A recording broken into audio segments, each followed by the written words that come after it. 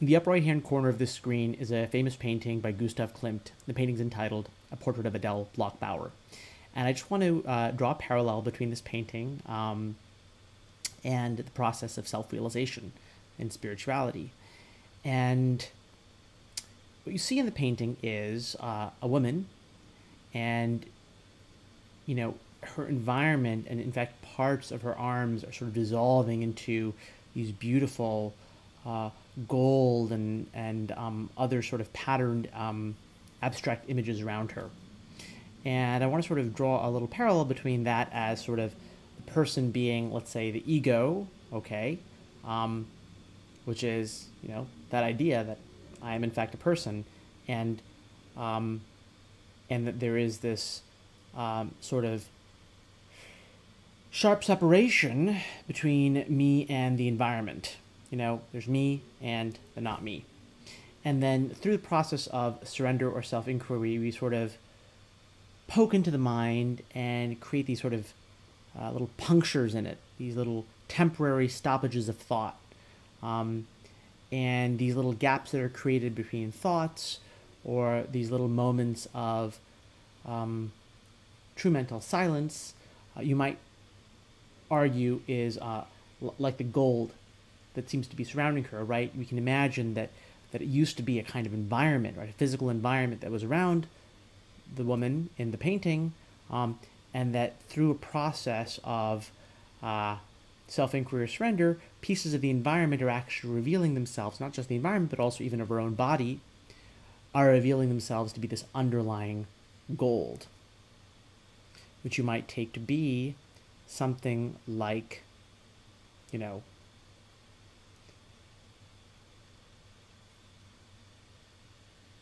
consciousness or something like that. You know, whatever is there when the mind is, is stopped. And so there's this process of, of self inquiry and surrender that starts to uh, blur the lines between my identity and what's not me, and to reveal underneath uh, what appeared to be the physical and mental world this other thing, this magical thing, this golden thing, the silent thing. Um, and through that process, which is a sort of gradual puncturing process, you know, each of these little punctures in the ego um, we could think of as a kind of insight, kind of aha, like, oh, I thought this was the physical environment, or I thought this was my body, but no, it's actually this golden thing underneath. Right, so this, we do this over and over again. So there's this, there's a gradual process of this sort of mental silencing, mental stopping, mental penetration through inquiry and surrender. And every time that goal is revealed underneath, there's a moment of insight. That's the aha moment. And through this process, what we actually start to see, ultimately,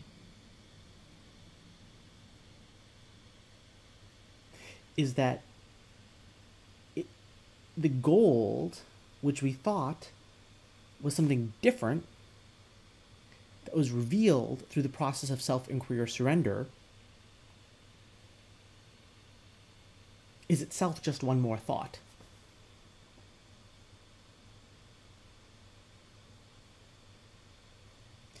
You know, instead of being the physical environment or the mental environment, now it's this golden thing. But it's still a thing, it's still gold.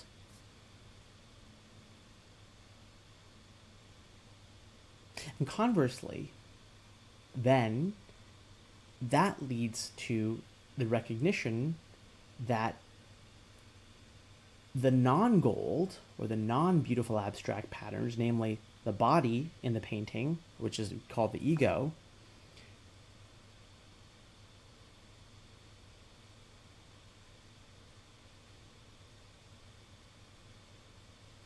and the gold are in some profound sense interchangeable. That both are parts of the painting. And the painting is the true underlying gold.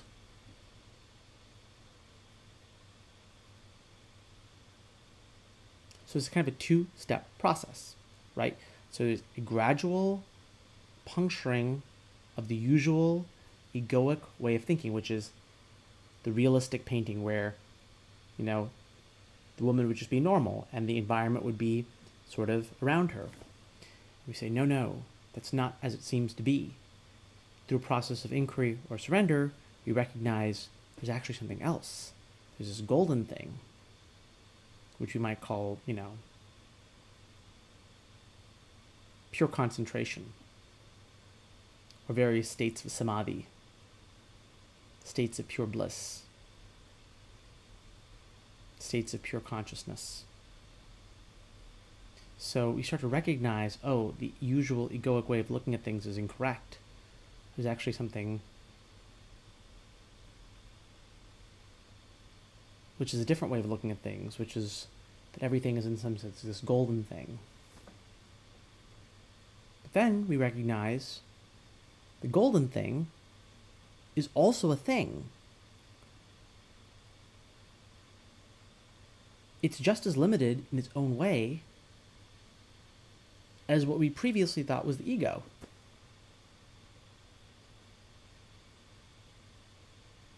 And conversely, what we previously thought of as the ego is in its way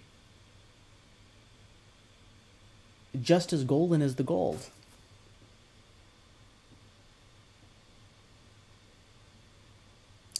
Both the gold and the woman in the painting are the painting.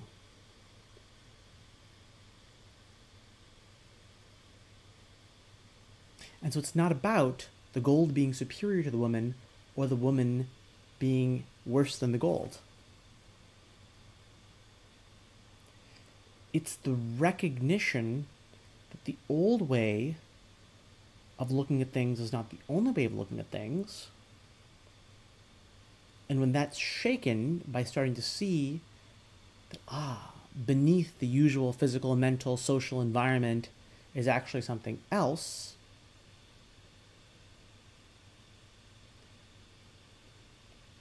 and then the recognition that even that way of looking at things is also a way of looking at things, right? When you have those two juxtaposed, then there is something, a unity beneath them both,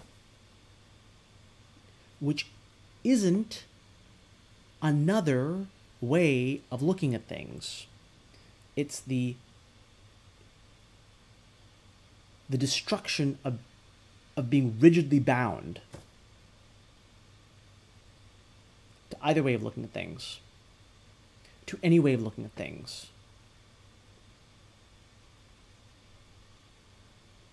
It is the passing over between there's the woman and the gold. The gold is separate from the woman, the woman is separate from the gold. But then both are together. Both are the same. In some sense, the woman is the gold, the gold is the woman. Both are the painting. You know, th- there's something which is which is shifting, which is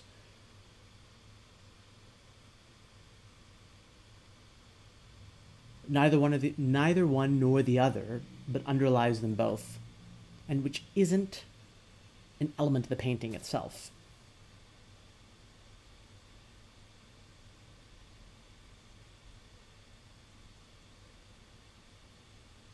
So that's the basic idea of the spiritual process.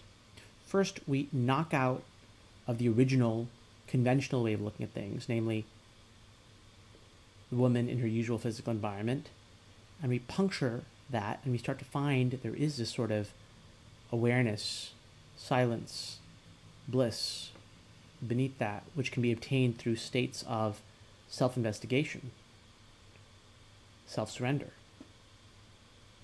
But then those two are recognized to be just states, and even that's knocked out.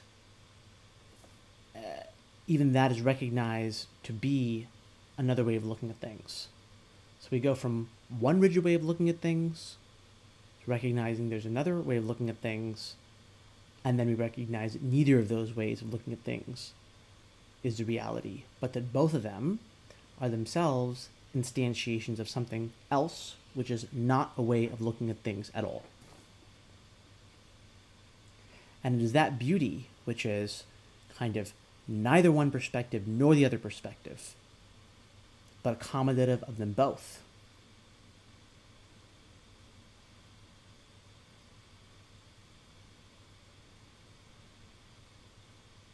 Which is gradual in the sense of happening through the gradual puncturing of the mind, which is sudden in the sense of each such puncture reveals the gold, and which is neither gradual nor sudden in the recognition that, that both of those processes are themselves part of the picture.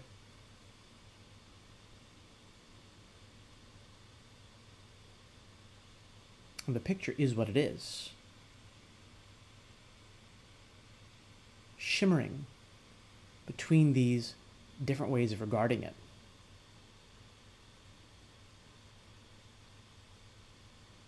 Being limited by none of them yet somehow accommodating of all of them.